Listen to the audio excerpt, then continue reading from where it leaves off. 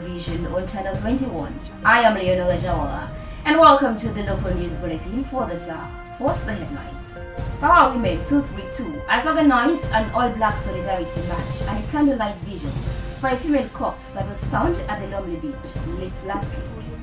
The Environment Protection Agency Sierra Leone has embarked on a project to beautify the city. The people of Jaiama Bongor Chiefdom in Bo District have lauded Welthungerhilfe for their efforts in rehabilitating their weekly trade fair market structures at Koribondo. And in sports, the Sierra Leone Football Association Interim Committee is set for President Ernest Bai Koroma Kick Ebola Football Festival that will commence on Friday. Those were the headlines, and now for the news in detail.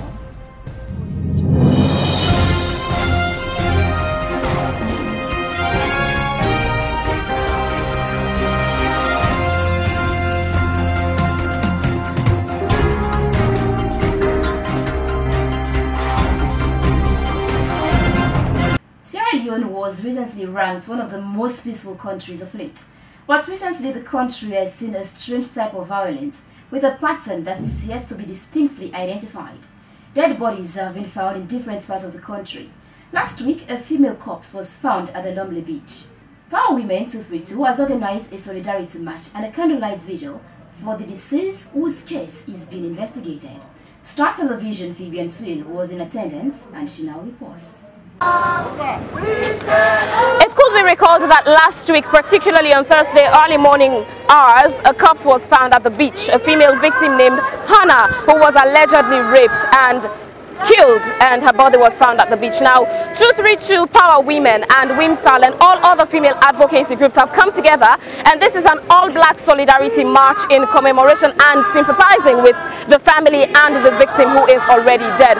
And it also could be recalled that um, the previous day, the Minister of Social Welfare, the Deputy Minister rather of Social Welfare, Gender and Children's Affairs, Mustafa Bai Attila, came out and strongly called on the men to support the women in the march today and to stand firm with the women to say no to violence against women and sexual offences against women and girls in Sierra Leone. Now, Sierra Leonean women worldwide have been also advocating against violence and sexual offences against women and girls. Today on social media, especially on WhatsApp, we saw lots of videos from other Sierra Leonean, both men and women in other parts of the world, who have been sending in their own videos in their black, being part of this in spirit, as they called it. So this the, the, the, this is going to end with a candlelight vigil now at the beach.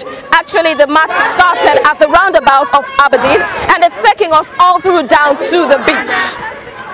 It's a justice match, solidarity, women all in black. In his statement, the Inspector General of Police, Francis Munu, said the police is very dissatisfied with this incident, saying they will go all out to bring the perpetrator or perpetrators to justice, like they did in the case of another female victim whose remain was found at Regent in early June.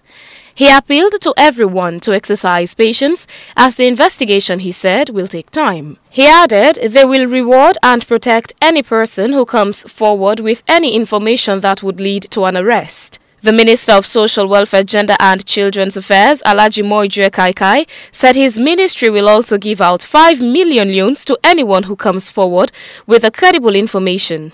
Mariam Abokari, mother of the deceased, said Hannah Bokari was an obedient and respectful child who got influenced by the wrong friends.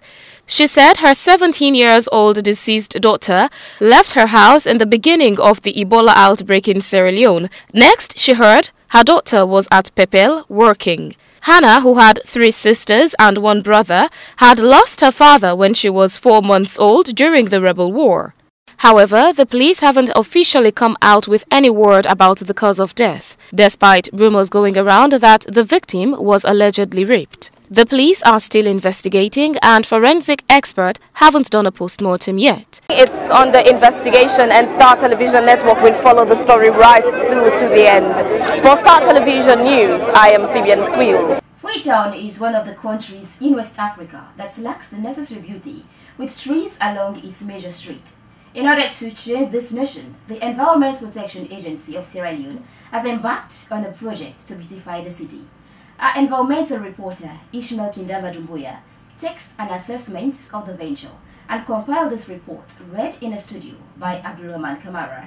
As part of efforts in ensuring a favorable environment suitable for the country, the Environment Protection Agency of Sierra Leone in collaboration with the Sierra Leone Roads Authority has embarked on a beautification of major streets in the city. The beautification process involved the installation of flower pots and flower along major streets in the city. The initiative has already been demonstrated along the Wilkinson Road. Beautification of a city with flowers and trees is not a new idea in some part of the world. In Peru, for instance, all their major streets are beautified with trees and other ornamental flowers. The Environment Agency in Sierra Leone realized that the planting of trees and flowers that is seen in other countries could be replicated here in Sierra Leone with the aim of providing a conducive environment for the benefit of all Sierra Leoneans. Presently, some of the major streets in Freetown are under construction by the government of Sierra Leone. During the launch of the beautification process at Wilkinson Road, the executive chairperson of the Environment Protection Agency, Madam Haddijatou Jallow, said they have been working on the idea for the past three years, but they are waiting to see the end of the road construction in the city. She reiterated the fact that the launching of the project was made possible through the intervention of the mayor of the municipality and she has called on all Sierra Leoneans to handle the flowers with care. So I appeal to every single Sierra please treat these flowers as your own, don't steal them. Don't damage these pots. If you damage them, report to the EPA, report to City Council, SRA, and we will see what we can do to replace them. It is Madam Jallow noted that the beautification of the city is a milestone in the country which is not only done for the interest of the Environment Protection Agency, the Freetown City Council or the Sierra Leone Roads Authority, but it is done for the interest of all Sierra Leoneans in the country. She called on all and Sunday to embrace the initiative and desist from destroying those flowers and pots they have already started to install along the street. This is a milestone.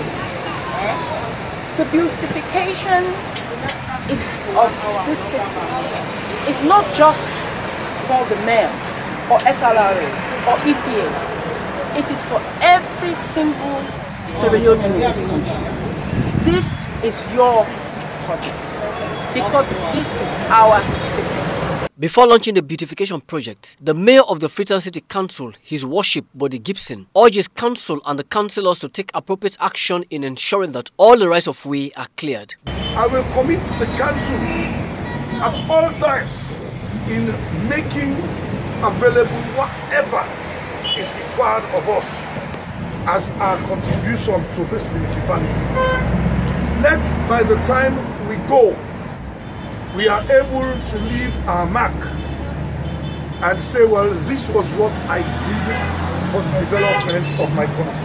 This news is compiled by Ishmael Kindama Dumbuya and read by Abdul Rahman Kamara. The people of Jaiama Bongor Chiefdom, Bo District, have lauded Welthungerhilfe for their efforts in rehabilitating their weekly trade fair market structures at Koribondo. Mohamed Sako has the detail. Ahead of the reactivation and reopening of the Koribondo weekly trade fair, members of the Chiefdom Ebola Task Force and Market Management Committee in Jama Bongo Chiefdom have participated in a one-day training on Ebola virus disease, EVD preventive measures, and general security duties. Held at the ICS primary school building, Koribondo town, from 20 miles away from the City, attracted a good number of participants. Explaining the driving force behind the training, the business advisor for the DPAT project, Kode Bangura, a staff from the West Wonga High Fair, underscored the significance of the training, continuing that it will help the targeted beneficiaries to overcome their past challenges in the execution of their duties in the Koribondo community before, during, and after the reactivation of the said trade. According to Kode Bangura, the overall objective of the training is to empower and capacitate the Market Management Committee and Chiefdom Ebola Task Force, plus functionaries for final elimination of the deadly virus in that community. Touching on the reconditioning of the market premises, Mr. Bangura disclosed that rehabilitation work on the market has already been completed with the EVD preventive materials ready. My organization has financed the reconstruction of over 20 booths plus the fencing of the entire market area. We have also provided EVD preventive materials including thermometers, Veronica buckets and megaphones to name but a few the Keepers Business Advisor said. Mr. Bangura added that the weekly trade market site will be having one entrance and a transit point amounting to two gates to be managed by participants of the just concluded training session, saying they will be charged with the responsibility to ensure that people adhere to all preventive measures of Ebola during the proposed weekly market days so as to prevent the breadthrough pandemic from making a comeback. Wode Bangura intimated that they are presently implementing the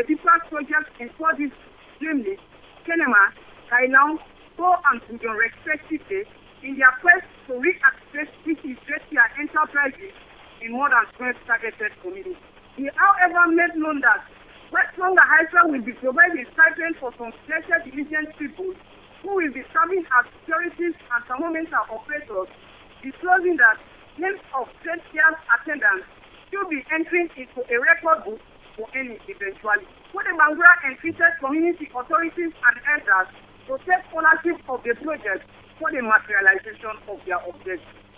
On his part, the councillor for Ward 244 Body Street Council, ABC Pore, described the training assignment.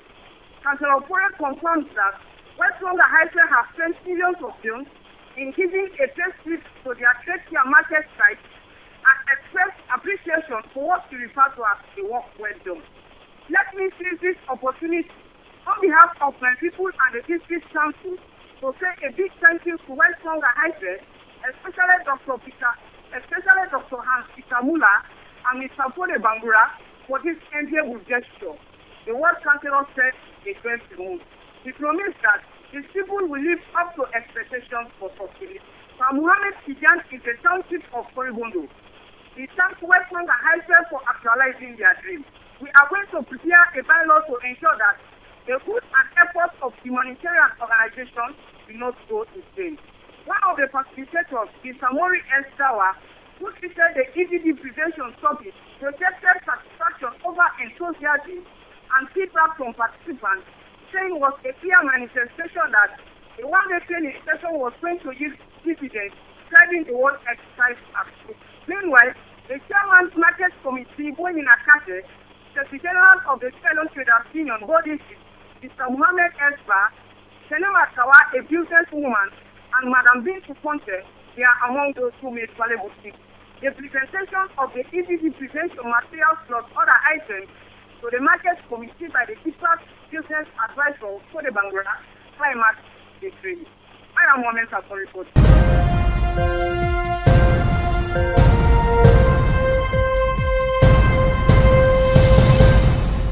And now to round up the news for the hour, let's join our sports correspondent, Elton John.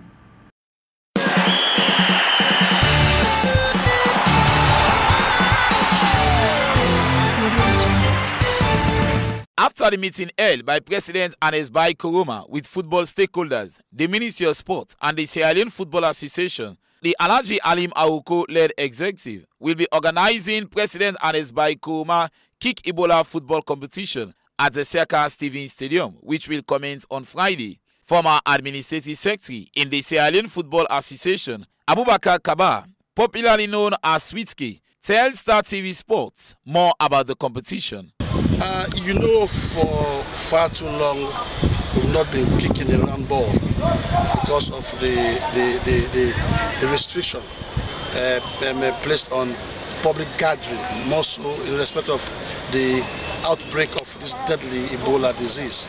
So when the president, in his wisdom, thought it fit to lift the ban on public restrictions, the interim executive led by Awoko and the membership of the Sierra Leone Football Association decided to start kicking the round ball and uh, an organizing committee of which I happen to be the secretary was formed and so we decided to say enough is enough it's high time we start kicking the round ball and that is the idea behind the soccer festival. So how many teams will involve in this competition? Uh, for Friday, Saturday and Sunday we'll be, we'll be using uh, 29 clubs, 11 Premier League clubs uh, including Gem Stars from the Western area and 20 Division 1 clubs from Western area. Okay, many people will be asking the question if you have talking about the President's trophy, His Excellency Dr. Anes Baiko Yes, uh, finance, I, I, must be honest with you, is no problem. Bearing in mind that it is the membership themselves that agreed to kick the round ball this time. So they are not asking for much.